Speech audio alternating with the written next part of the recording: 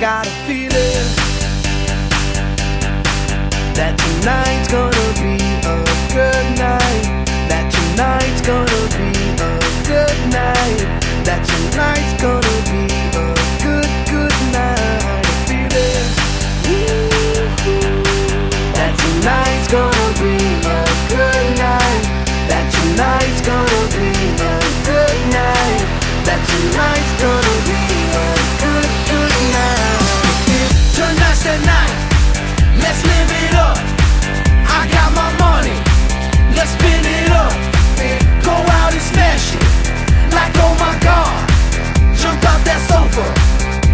Get it up.